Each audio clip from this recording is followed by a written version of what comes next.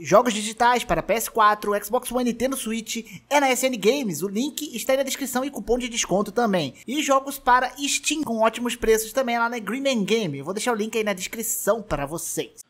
Oi, eu sou o Hades e estamos aqui para mais um vídeo. Como vocês estão, meus amigos?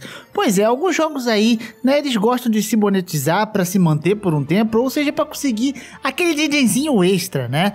Mas alguns deles acabam passando do limite e acabam adicionando tanto conteúdo extra pago que quando você vai ver, mano, para você simplesmente ter acesso a tudo isso, você tem que desembolsar uma grana gigante. Eu não sou contra microtransações em jogos online, visto que eles precisam manter um servidor, bug, segurança, etc. Porém, entretanto, todavia, quando o bagulho é single player, eu acho até errado roupinha paga dentro do jogo. Porque, mano, é single player, você não tem para que se monetizar mais, você não tem que manter uma constância de atualização, por exemplo, na maioria dos casos. Mas alguns jogos passam dos limites. Vamos falar aqui dos jogos ali que se você consegue só todo o conteúdo, se você for muito rico, porque é absurdo de caro e passa de qualquer limite do bom senso. Então a gente começar o vídeo, deixa o like, se inscreve no canal e vem comigo ver esse absurdo dos videojuegos. Bem, The Sims com certeza foi o jogo que me fez aí ter a ideia de fazer esse vídeo. E na verdade ele já até apareceu em um outro vídeo que eu falo das DLCs mais caras, absurdas aí dos jogos. Isso porque, cara, The Sims não é um jogo que você compra o jogo base. Que por sinal está custando R$ 79,00 em promoção na Steam.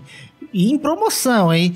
Porém, cara, se você for ver, todos os produtos que lança de The Sims direto, seja pacotes de expansão seja coleção de objetos, são alguns punhados de objetos que você tem que comprar para ter a mais no jogo, algo que provavelmente já estava lá, já estava sendo, já tinha sido desenvolvido, só que eles vão lançando aos poucos. E aí, cara, The Sims 4 é um jogo que lança direto esse negocinho. É várias coisinhas, coisinhas, coisitas, tipo coleção de objetos de bebê, aí coleção de negocinho de vampiro. E aí, tipo, na Orange, quando você tenta comprar tudo que tem do The Sims 4, você não consegue, eles não mostram tudo, justamente para você não ver a bagatela que é o bagulho. Porém, chegando na Steam, a gente consegue ver muito mais transparente todos os itens do The Sims 4. E a gente vê que realmente o bagulho é triste, sabe? Cara, só o jogo base, como eu falei, é 79 reais. Se você for ver todos os objetos que você tem que pode comprar, né, para conseguir praticamente tudo que tem de extra no jogo, apenas 2.020 reais. Isso porque grande parte dos objetos aí estão com 30, 20% de desconto, tá bom? Então esse valor sim aumenta muito mais. Eu só não fiz a somatória toda aqui porque eu tenho mais o que fazer na minha vida. E aí, né, tipo, 2.020 reais para você desembolsar num joguinho, cara, que, tipo, coleção de objetos é algo que modders fazem, não, não no The Sims, mas em qualquer outro jogo, tipo, de graça, e lança lá pros caras. Alguma galera doa ali para ajudar o modder e tal, mas é algo muito sem esforço, com preço alto. E se você for juntar tudo que é lançado aqui, realmente você não consegue, cara, pros padrões aí da maioria das pessoas. Você não consegue ter tudo no The Sims, a não ser que você ative o bom e velho modo aí do nosso querido Jack Sparrow. Aí dá pra ter tudo no The Sims. E na verdade, é o único modo de você conseguir tudo no jogo, né? Porque você não vai fazer isso, você não vai dar essa grana pra EA, que não te trata como um consumidor deveria ser tratado, né? Então é daqueles jogos que você não tá fazendo nada de errado, meu amigo. Mas não estou induzindo ninguém a fazer isso. Outro jogo que é menos agressivo que The Sims 4 é Street Fighter 5. Porém, né, o Street Fighter 5 ainda ele é meio ganancioso. Ele hoje está custando 40 reais. Porém, se você quiser ter todos os Season 1, os personagens Season 1, 2, 3, 4, tem, tipo, tem muitos pacotes, seja de roupa, seja de personagens. Tudo aí você paga 324 reais, né? Então você paga basicamente 360 reais no Street Fighter V, que é algo bem alto, preço bem alto. Aí você vai me falar, ah, mas dá para desbloquear várias coisas com Fighting Money. Pois é, mas se você for tentar desbloquear tudo que tem ali, realmente é bem suado. Inclusive, se eu não me engano, foi ano passado aí, eles diminuíram o ganho de Fight Money, que para quem não sabe é a moeda ali dentro do jogo, você pode comprar coisas dentro do jogo. Eles diminuíram que, claro, né, eles diminuem justamente para fazer, induzir a galera a comprar esses pacotes, esses pacotes de season, né, dos personagens. E aí, quando você vai ver, se você for comprando as coisinhas que vai lançando, você desembolsa mais de 300 conto, quase 400 conto em conteúdo desse jogo. Eu acho bem errado, por mais que seja um jogo que tenha multiplayer, né? Eu acho que seria muito mais, assim, friendly se os caras lançassem roupas ali pros personagens, que de fato já tem, né? Mas só pacotes tipo skins pros personagens, ia ser da hora.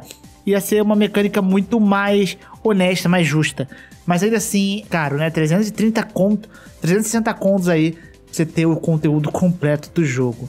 Isso porque ainda tá lançando mais, né?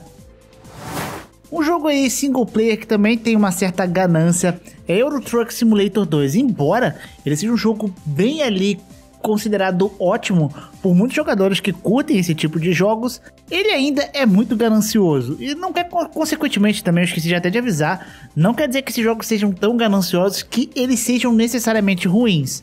A ganância é ruim, mas às vezes o jogo base, ele é bom. E um dos casos aqui é o Euro Truck. O The Sims e até o Street Fighter são bons jogos também. Street Fighter alguns vão discordar. O Euro Truck, ele tem vários, tipo, vários pacotes de DLC. Seja pedaços de estradas sendo adicionada, tipo França, Itália, ou pedaços de alguns países, né? Seja ali pacotinhos mais simples, como pinturas ali para os caminhões, é, coisinhas que vai mudando ali dentro do painel dos caminhões. Então ele tem várias, várias, várias coisinhas que eles vão dando jeito de lançar. É, muitas coisas aqui tem cara de mod mesmo, que tipo, fã faz de graça. Mas eles lançam aqui pago. Alguns são até bem baratos, mas se você for tentar ter tudo, todas as estradas ali do jogo, além de você pagar 40 reais que está o preço dele hoje na Steam, para você ter tudo você desembolsa pelo menos 523 reais. É, puxado, né, meu amigo? 523 pila aí pra você andar de caminhão. Daqui a pouco vai juntando aí que você compra o seu caminhão de verdade, velho. Porque não é brincadeira. Junta aí The Sims, Street Fighter, isso aqui. Daqui a pouco dá um caminhão no bagulho. Tá, também não é pra exagerar tanto. Mas ainda assim, né? Vende muita coisa ali, skin basicamente. Mas sendo um jogo offline e algumas pistas e estradas, somando tudo isso dá esta bagatelinha aí de 523 reais, que é caro. Cities Skylines, um jogo aí de criação e simulação de cidade. Ele atualmente está custando 55 reais. É um jogo também bem ali é, os fãs gostam dele bastante, por ele também tem esse sistema de pacotes. Muitos simuladores gostam de fazer isso, eu não sei qual é o tesão do simulador de lançar tanta coisa. E aqui, sim, também, tipo, eles adicionam, vão adicionando algumas coisinhas, tipo monumentos, tem um pacotinho ali que adiciona monumentos históricos dentro do jogo. É, um jogo single player, podiam adicionar isso daí gratuitamente ou já tá ali quando saísse o jogo, sabe? Eu acho que deixaria os fãs mais felizes, talvez, mas ainda assim, né? São vários conteúdozinhos extras aí que se você quiser ter tudo, além de 55 reais do jogo, você vai ter que desembolsar 420 reais, que é caro, né? Cara, dá vários joguinhos 420 reais só pra você ter cositas aí extras feitas ali pra te dar, pegar um pouquinho do seu dinheirinho, né? Deixar os desenvolvedores felizes da vida.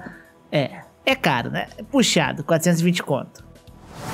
Talvez um dos jogos que ficaram mais famosos nesse formato de milhares de DLC seja Train Simulator. E cara, tipo assim, na Steam você consegue ver o somatório dos conteúdos extras do jogo, né, na página inicial. Porém, Train Simulator você não consegue ver, porque você desce e simplesmente aparece para você ver todos, que tipo, são mais de 600 DLCs no bagulho. É muita DLC. É, e essas DLCs lançam, tipo, desde muito tempo. Eles vão lançando DLCs, ao invés de, tipo, lançar um jogo novo, eles vão atualizando o nome do jogo, mas vão lançando DLCs aí para gerar conteúdo, né? E, cara, foi mostrado aí que em 2019, todas as DLCs do jogo custam 9.700 dólares. Com dólar 5 conta aí, mano, você multiplica isso aí, mais 50 mil reais de DLC. Se você quiser jogar tudo que tem no Train Simulator, você quer ter tudo, você quer ser o colecionador master desse jogo, 50 misão aí, ó, à vista, nada, acho que Steam nem aceita, Steam aceita parcelado, nem sei. A vistão aí, ó, toma 50 mil pra ter tudo nesse jogo. É um absurdo, não justifica, por mais que o jogo vá lançando conteúdo aí desde 2009, eu acho, esse valor para você ter tudo nele não justifica nem um pouco. E só para finalizar, nós temos mais um simulador, que é o simulador de voo da Microsoft, Microsoft Flight Simulator X. Esse jogo aí, ele constantemente adiciona pacotes de addons DLC e que somando tudo dá 4 mil doletas, 4 mil dólares, né? Ou aí convertendo praticamente 20 mil reais aí se você quiser ter todo o conteúdo desse jogo. Tem que ser meio que ser um shake para poder comprar tudo isso aqui. E mano, se você for ver, tem uns bagulho meio absurdo, que, por exemplo, tem uma edição do Boeing 747 que é uma versão ali, é uma versão dele, né, que adiciona esse Boeing no jogo.